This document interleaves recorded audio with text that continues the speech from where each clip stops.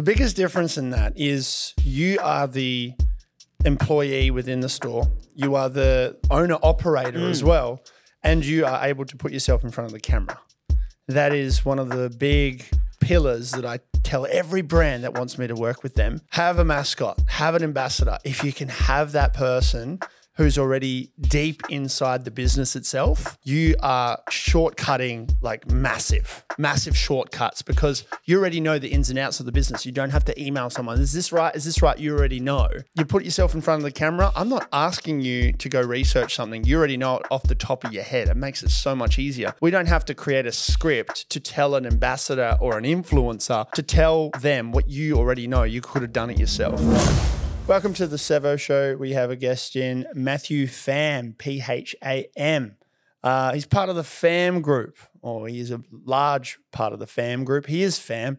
Uh, he started off uh, with his father with uh, one uh, grocery store, and now there are multiple, and they're uh, labeled as IGAs. Uh, back in the days of uh, the Dewsons and the supermarkets, they were all uh, kind of local names.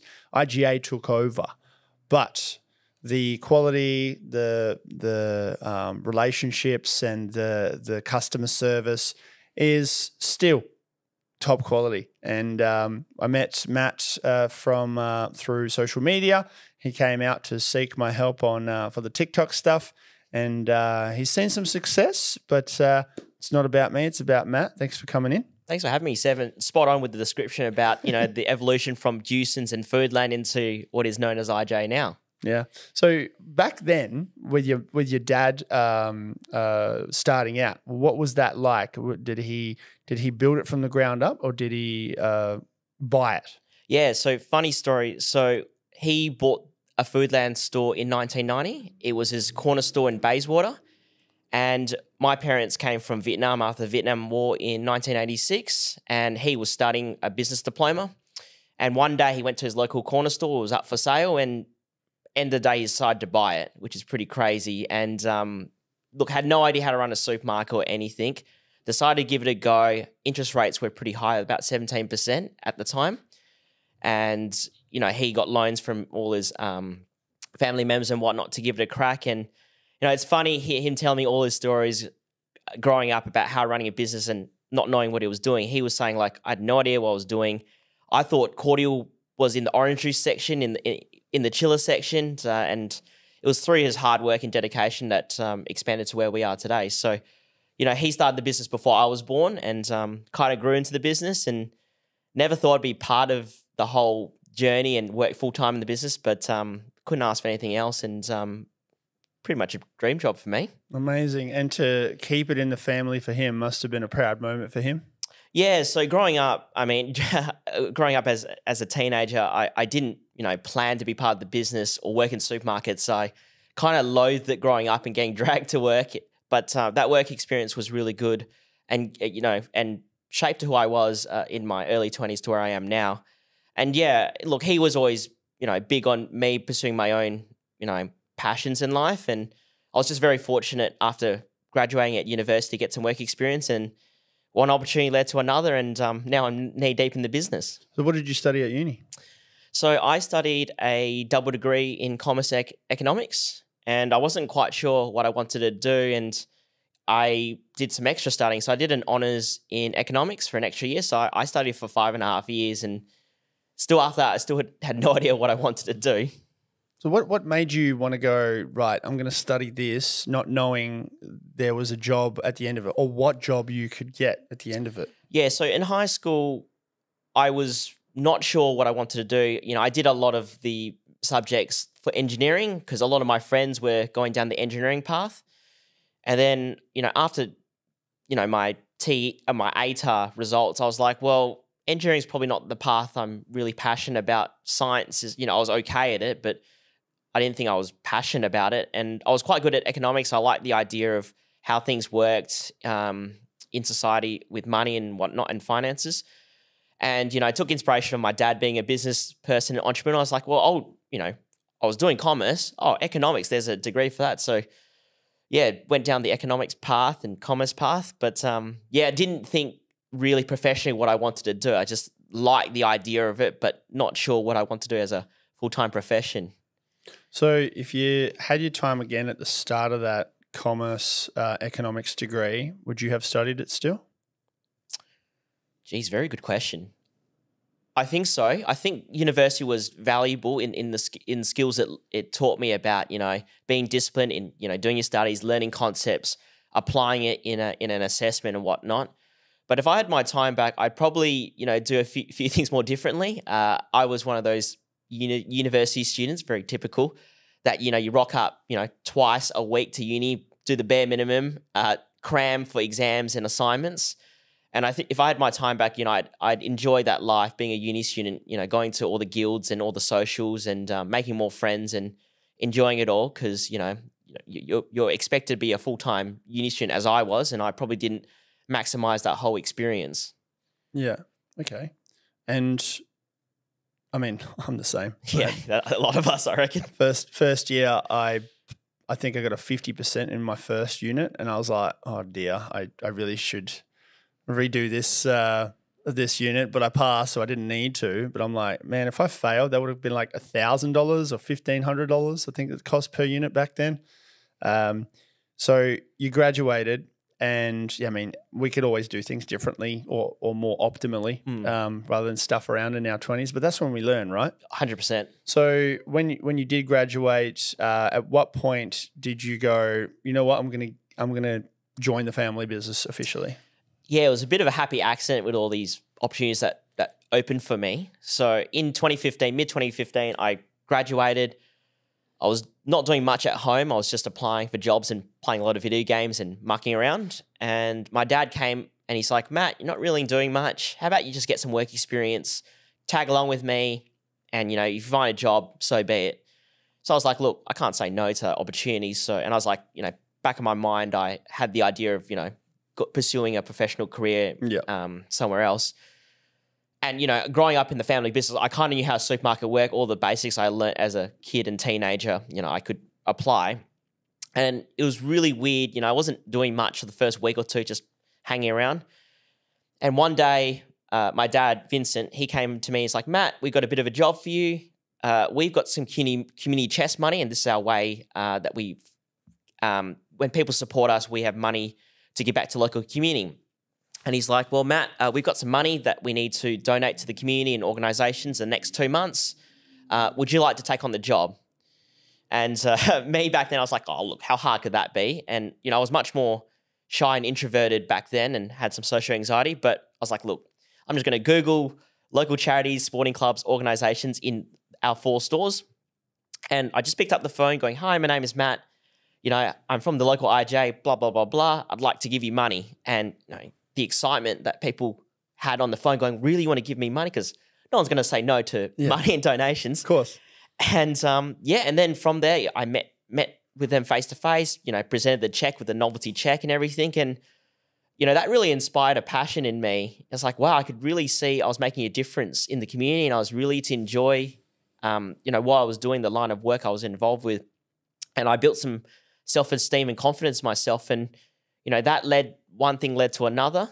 And um, you know the whole IGA ethos of what we do, you know, serving the community and also giving back to the community you know that resonated with me. And you know realizing how lucky i was with my parents being you know boat refugees who came to australia with nothing. You know all those things in my you know early 20s started to click in. And you know that's kind of what led me to being the family business. And you know to this day my fam- my, my favorite part of the job is being able to connect with you know customers and p- giving back to the community. That's the most enjoyable part you know back then and it is now Yeah, you get the opportunity to give back uh, from the start, and you're kind of giving back through what your dad, through your dad's kind of uh, upbringing and and what, all, everything he's built. You're giving back on behalf of him as well as yourself. Yeah, for, for sure. Look, we look growing up. You know, I, I used to hear a lot of his stories of how he came here on a boat, three months, almost died, yada yada. Came to Australia with you know clothes on his back, no word of English, and it was just through hard work that opportunities arose. And I think that's the values that it was instilled in me to just work hard and Yeah. put your head down and see what happens.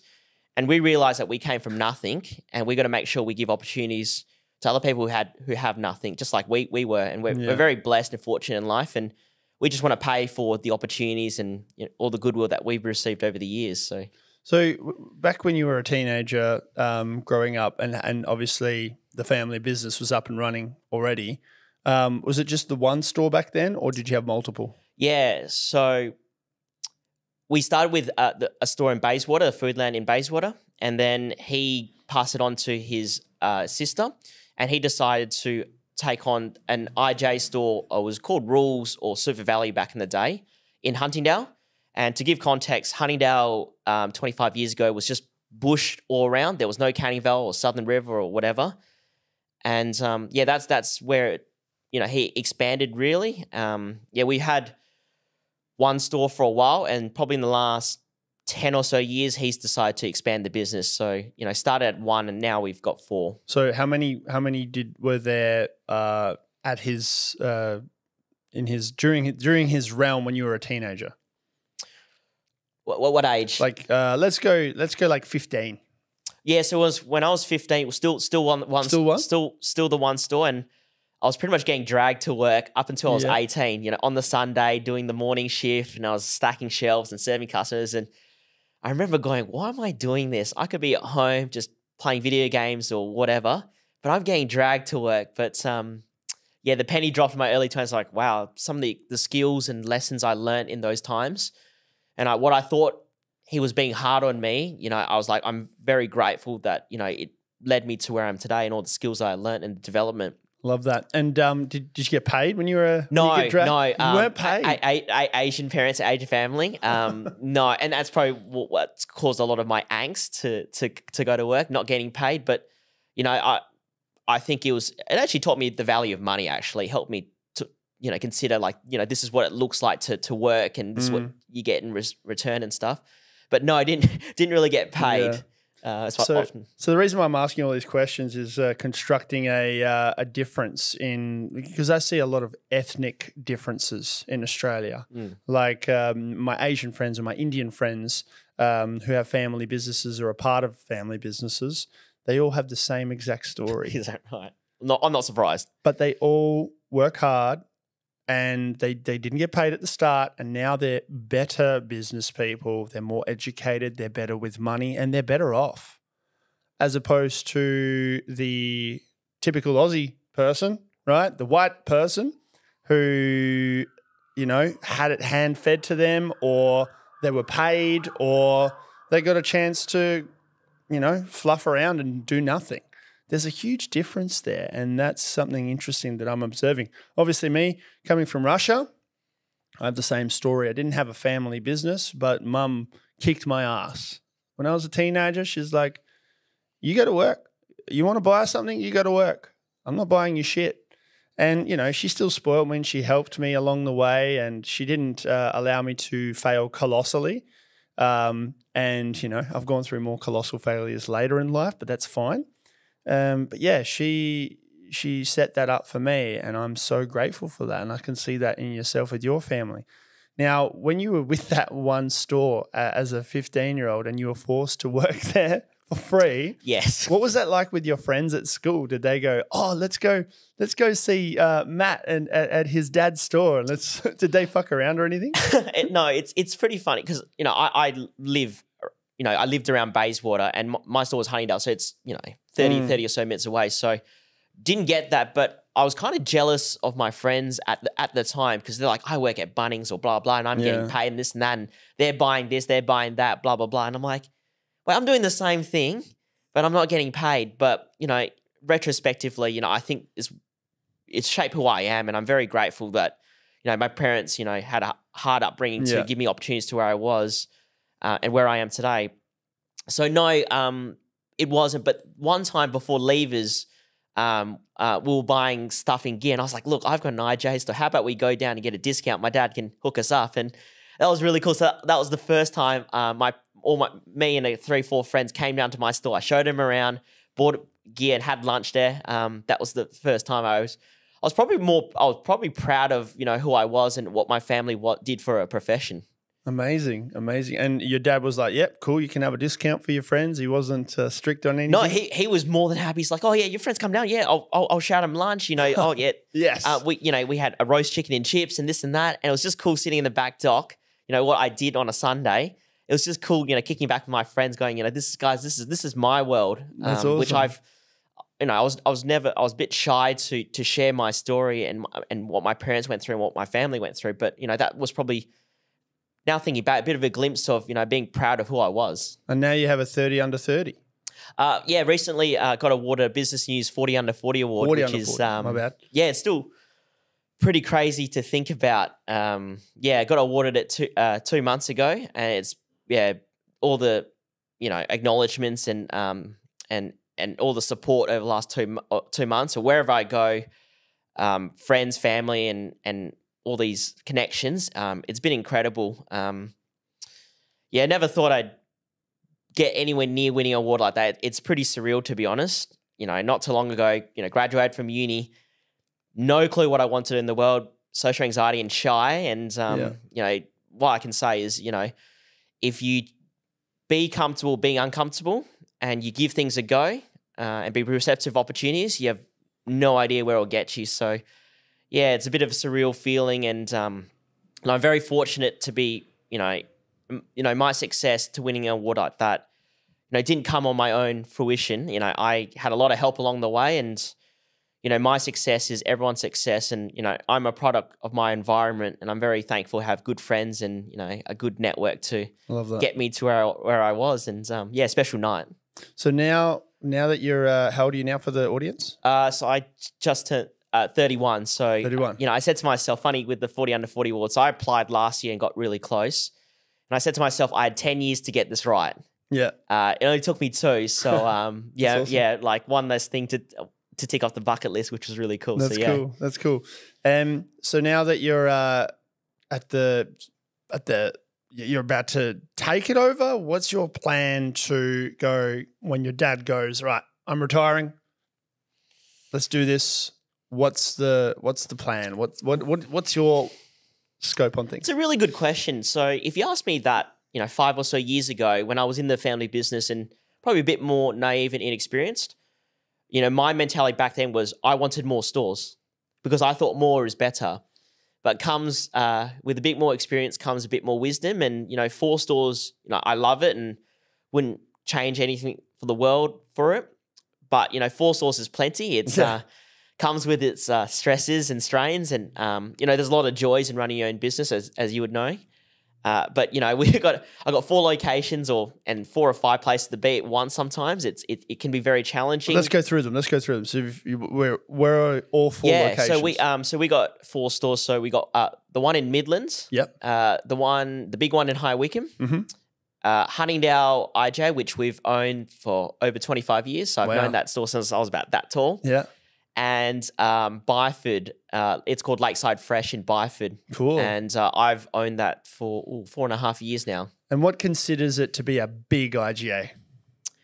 I think people consider big IGAs by the, by the floor space. Yeah. So a lot, to be honest, a lot of the IGA stores are, you know, medium to small, and I think that's the better ones or the easier ones to run. Yeah. Um, I mean, of course. yeah, bigger stores is more problems, more s- staff, smaller more this, more surface that, area, less to clean. and yeah, more running around this, Yeah. that. Um, yeah. So going going back to your question, yeah, four stores is plenty. Um, you know, I, I've been offered and have had a look at other sites and all these things, and I'm not going to say no to it. But yeah, for me, it's like, you know, what's my, what's my legacy and what's my path, and yeah. you know, I'm very content in the supermarket space, and yeah, I'm not I'm not quite sure what it- what it is. Um, you know, winning a 40 under 40 award will help Yeah. you know, I think that will help me think about other things. Um, but yeah, I just want to pursue some other careers and uh, or, or a passion outside of the supermarket space, whether that's consulting or you know, I do a lot of volunteering outside of um, the business, and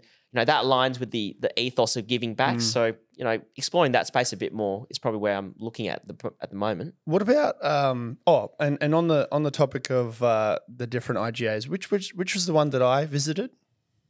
Oh, so you visited Midland, so Midland. um, Midland. yeah, That's a huge store. Like Yeah, that's considered big. That was I I felt like a Woolworths sort of size, which is insane because I grew up in Padbury Mm. and I had the Padbury IGA, formerly Dewsons, and it was super tiny. And I was like, all right, that's IGA's brand, super tiny stores. And then when I lived in Kalgoorlie, there was a super IGA, and that was a lot bigger. Yeah. And that was uh, probably far out four times the size. And just looking back now, you consider that almost Woolworth size too. Um, but yeah, this one was huge. Crazy. Had a whole section of everything. but um,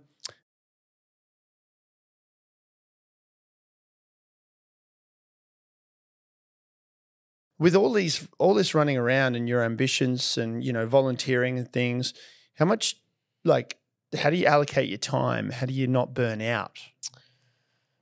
Yeah, really good question. I'm very look. First off, I'm very fortunate to work for myself, Mm. um, and but it come it comes with the territory. Look, I know I got to put in the hard yards, wh- whatever it takes, and that. But you know, I get the flexibility to um, mission mash. You know, all the things I do. So you know, one minute I'm doing some volunteering stuff during the day, or you know, if that means I have to work at night and do work on a few things, I do. Yeah, I, it's really good question. Look, I I I, re- I really enjoy what I'm doing, and that's the first thing. Um, whatever you're doing in life, just make sure you're having fun and enjoying it. And you know, if you're not, then it's not worth your time. So I, I'm happy to put the extra time in, whether it's in my you know IGA or professional career, or you know whether it's volunteering. Mhm. Um, but I also make sure I have time for a bit of time for personal life as well. Yeah. Um, and not to get burnt out. So make make sure you know I, I you know do things like mindfulness techniques or you know probably in the last two years um, with everything you know i've been you know very mindful more of my mental health and physical well-being so you know for me i get a massage once a month and it's a good way to unwind and um, a good way to de-stress uh, and to allow me to to live my fast-paced life I love that. And where where you're going to, like in terms of your day to day, describe to me your average day to day. Yeah, really good. So my day to day, it kind of varies, but it, it looks something on the lines of wake up in the morning, obviously have breakfast. Uh, and that's one thing I don't skip. I, I, I, skip lunch more often than not, but I make sure I have breakfast. And during that time, I check up on emails and I have a bit of a feel about, you know, what I have to do or achieve during the day. Um, generally, my to-do list is normally been dictated by what happens in the stores or the issues or things that arise. Yeah. And, you know, I try to visit my stores probably about twice a week, each of them twice a week, because I, as my role as the group operations and marketing manager, you know, I like to keep my finger on the pulse. I need to know exactly what's happening at the stores, getting feedback from other customers, suppliers, or my store managers or, or employees, and get a feel about a sense of where the business is going and where I can, you know, add some advice or some some of my consulting. So that's kind of how it goes. And yeah, I try to minimize travel time as much as I can because you know that's a lot of dead time. But I listen to your podcast along the way, which is always good. So plug to Good plug. the Sev show. Yeah. Um, but yeah, so it's kind of a, mi- a- mix between you know visiting the stores and doing some office work. I mean, we do have a uh, a, a head office, but um, I, I I'm not one for a lot of um, st- standing behind a desk and doing emails. I like to be connecting with people, Mhm. um, and I can see that's a lot of where a lot of my value is added. So yeah, so pretty much it's visiting stores, checking emails, and and and looking at a few things and doing TikToks, I guess, That's and it. social media. So being being the marketing manager, that's part of the role. Um, and when I first met you, you already had a bit of a, a following, a small following compared to what Oh, it is very, now. very. I wouldn't. Oh, I'm not sure if I'd call. Oh, geez, I think I probably had what less than a thousand followers on TikTok. To be yeah. honest. So, yeah. and and uh, and then you brought me on. Uh, this was February, and uh, went through ran through a workshop, and then we did the in person practical side of things, and uh, we posted some of them, and some of them did really well. And then you took on the advice on um, doing more and getting the locals involved. How has that progressed um, in the last five months since we did it? it- it's been an amazing journey. Look, to be to be honest, with with TikTok, I can I can say it's probably been one of the hardest things I've ever done. I decided to give it a go because I saw, you know, a bit of a market space, you know, to be able to give things a go, to learn a lot of things, but also to share our story and be on a different platform, which to be honest, other supermarkets and even in the IGA space, people weren't doing. So that's why I reached out to you. I, I saw you a lot on TikTok. It's like, oh, look, he seems to know what he's doing. Excuse me. Done a bit of consulting. All right, I'm going to reach out to him. Hopefully, he'll teach me a few things. And I think our content has evolved, just like TikTok or a lot of social media platforms evolve. I think a lot of mine were a lot of uh, memes and trends. Um, and you know, with your consulting, a lot of it's it's our content has evolved to be you know more interview style. Um, you know, stuff that we can repeat, stuff that adds a lot of value to um, the audience. And um, yeah, it's been really incredible. I think what are we now? We're over fifty five thousand followers. Um. It's, it's literally exploded. I think we've had oh, three million views on TikTok, which, you know, if you asked me that 12, 18 months ago, I would have laughed at you. Um, you know, it's, and, you know, through your advice, you know, I've never thought I'd be a video editor at all. um, but yeah, and I really enjoy it. That's Um, awesome. You know, it helps you storytell and you, and you get a, a you, you, you know, you get a bit of a feel about, you know, when you get the video, you know where to chop and change and add some flair to the whole thing. So it's been really incredible, the whole experience. And yeah, I, I'm, I've got a nickname as the IGA guy on TikTok That's awesome. which is really um, weird and never in a million years I thought that was possible. But you know, whether I'm at um, at my stores or whether I'm presenting a check or visiting um, the local schools, I I get mentioned. Um, hey, I you know follow you on TikTok, this and that. So it's been really incredible, and it's been a, a point of difference for our business uh, in the space. Amazing. And that's still the first six months, the first 50,000 followers. I remember when I hit 50,000, I had um, a couple of people. I went down south with my wife, right? And we went down there and we were having a feed at a restaurant. And these three boys came up and said, Can we take a photo? And I'm like, This is like, I've had a few of those by then, but like, not not uh there were probably about three or four times randomly. Uh, but then this time it was like in another place even if it was the same state and then i was you know having lunch and then people came up to us and they, they were nice and they were respectful.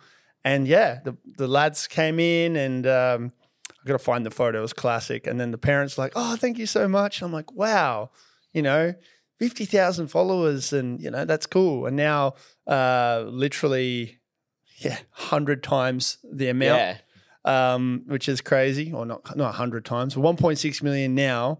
And every 5 minutes I'm walking down somewhere someone wants to have a chat. Uh, I I've watched this YouTube video uh recently of Mr Beast. Um I love Mr. Beast. yeah. So, so he had an interview with these guys two years ago, and uh, in his newly um, built um, place, like his ranch or whatever, it's got like thousands of hectares or acres or whatever you call it, and this is like his own studio space where he creates different projects. And he had 40 million followers at the time on YouTube. That's a huge. And I remember watching that, and I felt like it was two weeks ago. And I was like, far out, this guy's killing it. And then they did the same interview, the same place, same people, and he has 160 million subs. Um, you know, he did that Squid Game video and he did some more recent ones where he's restoring eyesight and people's hearing. That's crazy. So he's giving back to the community. I feel like there's not enough of that in Australia. And I feel like what you're doing with IGA will become like this huge success story and this uh, thing that people talk about for years. And you're only at 50,000. I can't wait to do the same interview 12 months from now going, holy shit, look at you now. Right. But it's all about consistency. When I when I talked to you in February, I was like, you need to be consistent. And you have been consistent. There's videos that didn't work, but then there's videos that did went absolutely skyrocketing. Yeah. And then you hone in on that and then you double down on that style and then you do more of those and then away you go. I have so many more ideas. If I lived next door or down the road, I'd be there making content myself. Um, but, but going Yeah, back, this is not a plug, uh, but so I'll, I'll tell about the time that you came to our store. yes, I think you were at the store for an hour, Mm-hmm. maybe, and I can't believe how many ideas you came up with at the top of your head. And I've never thought about those ideas, but it opened to the realm of opportunities and possibilities of what a video looks like in a supermarket. Mm. We probably shot 10, 15 videos, and some of it was, I think, you know, people to this day, people say, oh, you know, that video where you went down the aisle, this and that, or weighing the stuff, that was amazing. Um, yeah, no, no, I think the the idea generation was very left field, but you know, created a lot of interest in our business. That's it. That's it. I'm excited. I'm excited. And the most importantly, you get the kids involved because what I noticed about my channel is the kids want to be involved Oh yeah, because it creates a sense of belonging, sense of community, and that's what you got to do with any brand. If you have that, you will succeed. You do that long enough, you will succeed no matter what. It's what Mr. Beast does. He yeah, hundred percent. He's he- Mm. been one of my biggest inspirations last twelve months about how he storytells and how he connects with the next generation. You know, I, I say a lot of people, especially the older generation, they don't know who Mr. Beast is. No. They call him Mr. Muscle, or whatever the case. but yeah, I think he's done a really good job about storytelling, you know, being a, a social media influencer, doing some great work in the community, and being a um, you know business person that inspires the next generation to to hustle, give back, and everything. That's it. And we're we're starting that here. And I I like that. Yeah. I want to run the flag in my niche, in my area for Australia. Like I don't see anyone here. Not nobody. There's influencers and there's creators, but they're not like they're not going Altruistic is that? Yeah, yeah, and like I see a couple of people that do that classic. Uh, hey, do you have a dollar? And then when they give them a dollar, they give them like a thousand dollars. It's like the guy. There's one guy that that is the OG for doing this. Uh, his name's MD or something. Hmm. He he does it the best, and he was the OG. And I'm like, all right, that's his thing, and I'm glad. I'm happy that other people are following those Mm. footsteps. But it's just like. Do something unique. Do Genuine, something yeah. you. Do something, you know. Mm. So uh, for me, it's like uh, like doing an interview with a kid, and then them showing all their friends that they got a chat with me, or they they oh it went viral. Oh, I'm now famous. You know, like fame isn't everything. Like what is fame, right? For me, it's what did you learn from that person? What is the value that they've given you, um, apart from giving you a fish for a day? Like thousand bucks, great. But what if, what can you give me that's lifelong, that is life changing, not just a life experience, a one off experience? Because I'll give you tickets to the grand final. Cool, amazing. Uh, everyone loves it for a day. You've done it, it's a memory. But what is something lifelong that you can give someone? Mr. Beast is doing it. The, Mm. the, the, the literally giving eyesight back to them, restoring eyesight, restoring hearing. And that's this philanthropic stuff that I love about his side of it. He's got that whole philanthropic channel. That's the sort of shit. Yeah, I love it. Yeah. You know, but he started from the bottom where he was doing random things, counting up to 100,000, Mm.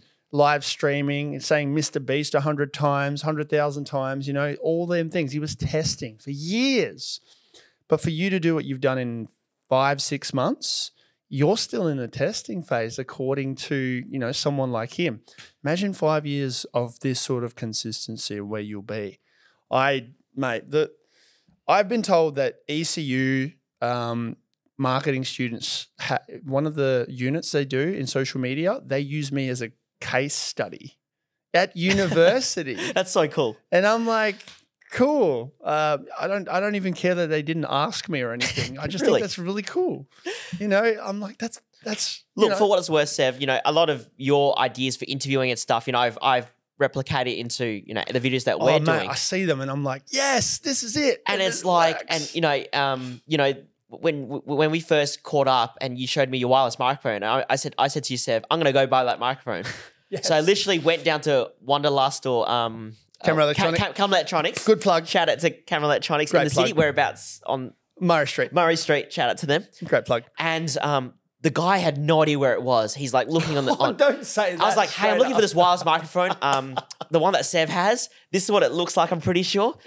And he took like 10, 15 minutes, the poor guy. 'cause He's like, it's in the system, but I don't know where it is. And it, like, it was not in the in the GGI. That was an intern, else. by the way. That was a that was first Um, day on the job, by the way. But yeah, it is one of the, it, the, the, it's so easy to use. It's value for money. Yep. And um, yeah, like you said, I, I can relate to you know my audience. Um, a couple of weeks ago, went to my Byford store two thirty in the afternoon on a Yes. Friday. I'm just walking to the store. I've got I've like got plenty of work to do. I'm just gonna go to the office. Walk in. There's six high school kids or primary school kids, and they're yelling and screaming my name. I'm like, oh my goodness, have I done something wrong? I'm like, what? What's the occasion? Like, Matt, Matt, Matt, it's you. We haven't seen you for a while. How are you? Do you remember me? I was part of your l- last TikTok video, this and that. Like, like, where have you been?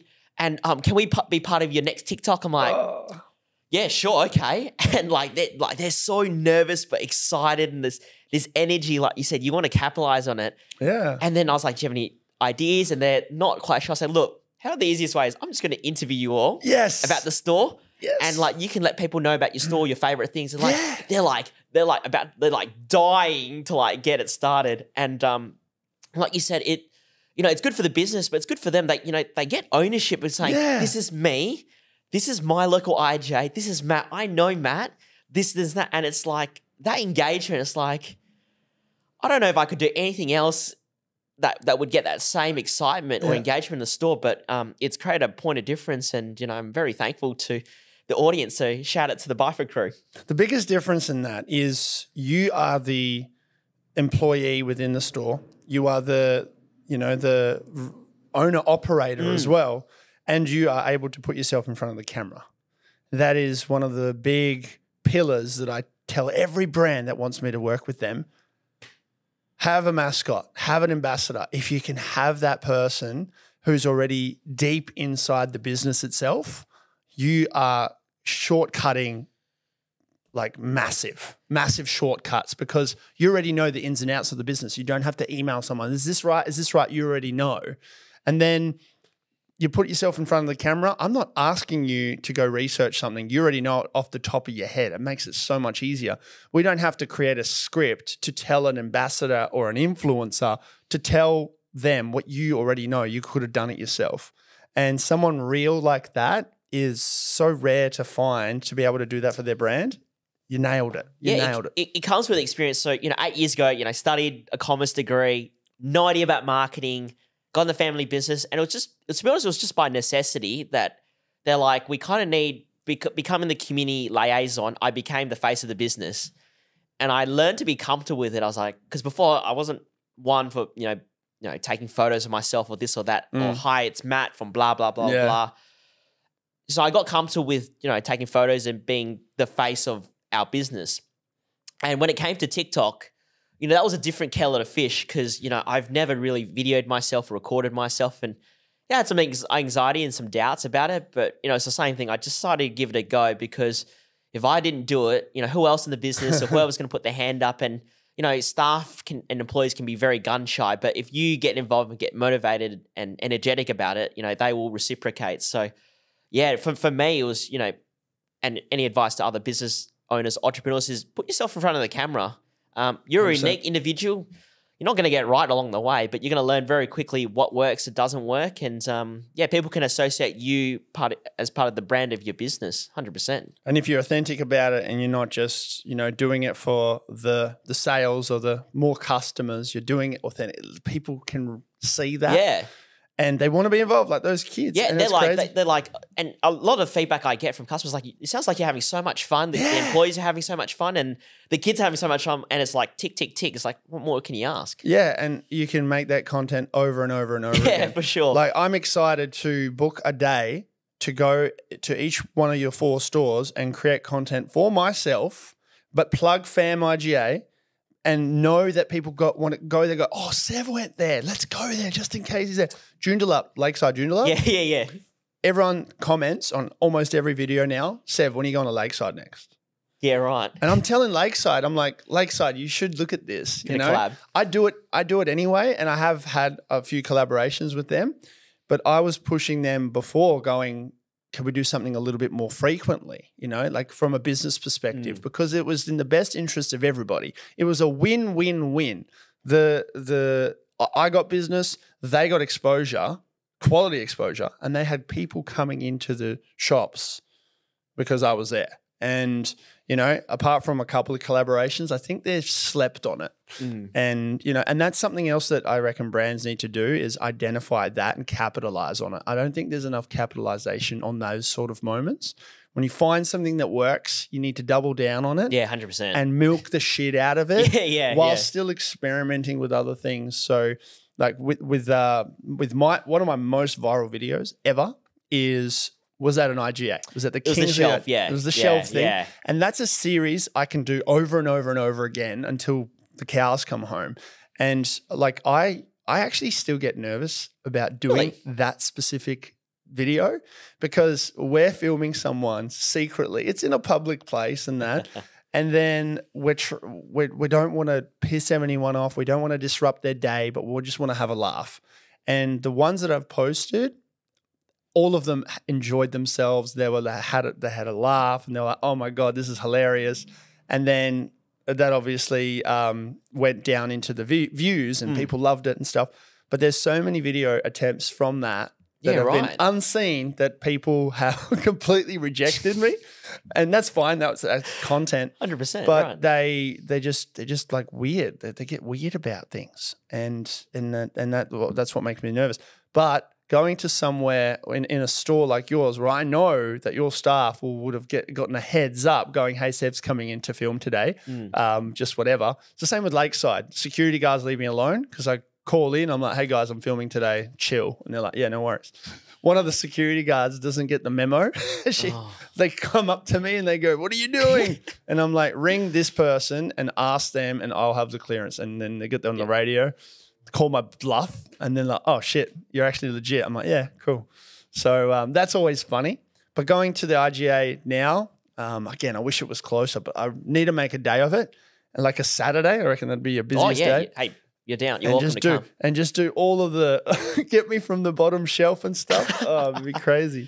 So, um, all right, going forward now into your thirties, where do you see yourself in alignment with your um, with the Pham group when you're? Let's start with thirty five, and then forty. I really thought of that far ahead in, in goals and stuff. Look, I've just been very lucky in the last, let's say, five or so years in my life that Yeah. I was just receptive to opportunities. I gave it a go, and then one door opened another. So, yeah, I'm not, I'm not sure with um, the next five or 10 years in my life, but yeah, ha- happy in the IGA space. But, you know, is there something I can do, you know, with myself? And, and you know, is there a business in there to consult people about how a small business works or how social media works or um, you know is there a, is there a, a space for me to you know consult in the volunteering not for profit sector you know that's that's that's where I'm I'm thinking about um, and and dip my toes in the water Okay. so yeah look I think for me it's really important to have a balance in life because you know does, does 10 IGA stores make me happy does 20 was like well, not really. It just adds more stress. There's more phone calls. You got to hire Mm. more staff, and what happens? This happens. That happens, and it's on those things. Just like, well, I'm very content and blessed in life um, to you know have a living, but also pursue the other passions in my life as well. So the main thing for me is yeah to you know balance it all, have a personal life. Um, travel a bit more probably is the way to go. I love that. Think, I think ever since the flu, it's yeah, I've been very fortunate enough to do a bit more traveling, and I just realized, you know, there's more of the world to see and connect with, um, with with traveling. I love that. I love that travel. Gotta travel. Where's your like dream place you've always wanted to visit? Good question. Uh, They're all good questions. yeah, I, I haven't gone to Europe. Yep. That's one thing, and I've I've spent a week in Japan, Oh. and that was on a like a bus tour. So I only got to see you know each city like a day. So I didn't get myself really immersed in. So probably Europe and Japan, probably two places that probably come to mind. I love that. I love that. And do you have any other hobbies apart from um, video games?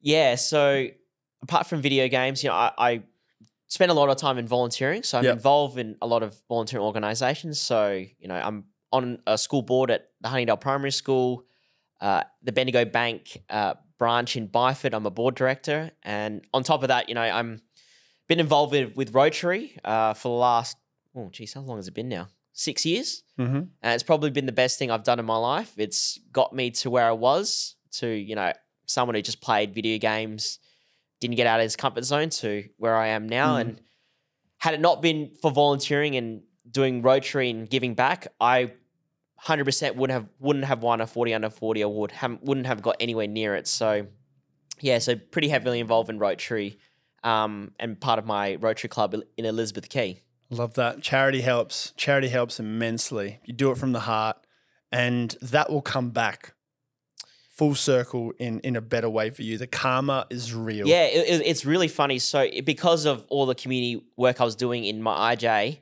I asked a local politician. I was like, "How do we become more like you? Because you seem you have good energy and buzz." And he's like, well, join Rotary, do some volunteering. And, you know, growing up, you know, Asian parents and stuff, we, we weren't accustomed to that. So I was like, oh, look, I like this type of thing. I'm going to give it a crack. And yeah, it opened a world of opportunities. You know, I signed up to volunteer just to give back, but, you know, what I got back, you know, was a hundredfold in return.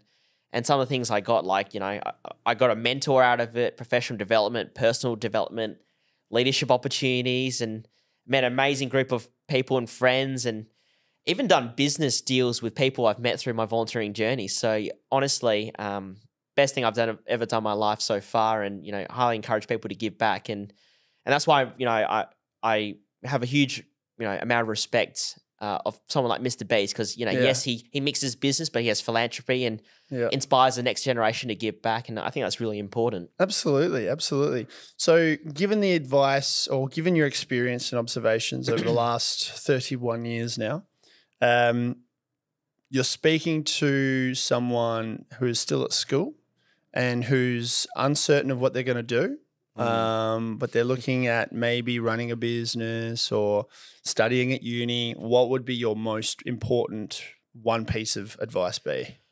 Yeah. A couple things I would say is, well, one thing I'd say is it's okay not to have things figured out. And I think we put too much pressure on the younger generation, you know, especially the way things are designed when you're seven to 18, you know, what, what university degree you want to study for the next three, four years to get in your professional career. And, you know, I, I didn't have it figured out probably until my mid 20s, to be honest. So, you know, don't be stressed out about not not knowing what you want to do. Like it's completely fine. And for me is really quite simple, is just to give things a go. Like just just back yourself, whatever it is. If you want to do this, go for it. If you want to do X, Y, Z, just honestly go for it.